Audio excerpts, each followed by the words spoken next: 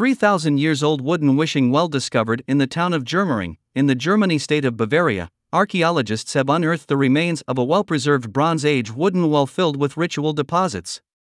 The wood-lined well was discovered during construction works for a distribution center. The conditions at the base of the well has allowed the well lining to be completely preserved, which reached a depth of around 5 meters, 16.4 feet.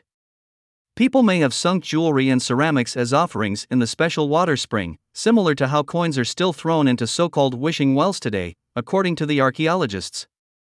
Within the sediment layers on the well's bottom, archaeologists have uncovered bronze garment pins, metal spirals, a pendant animal tooth wrapped in metal, and more than 70 ceramic vessels. The vessels are richly decorated bowls, cups, and pots, the type normally found in Middle Bronze Age burials placed as grave goods. Each of the vessels are completely intact, suggesting that they were ritually deposited with care, rather than simply thrown in and smashed from the fall.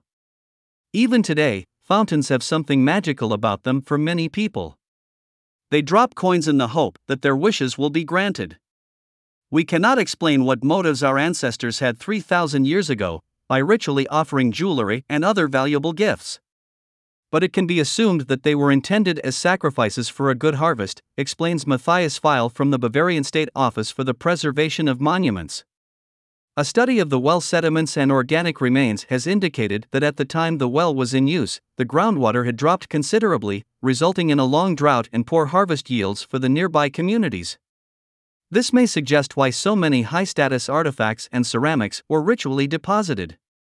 Excavations have been taking place at Germering since 2021, where approximately 13,500 archaeological finds and over 70 other wells, primarily from the Bronze Age and early Middle Ages, have been discovered.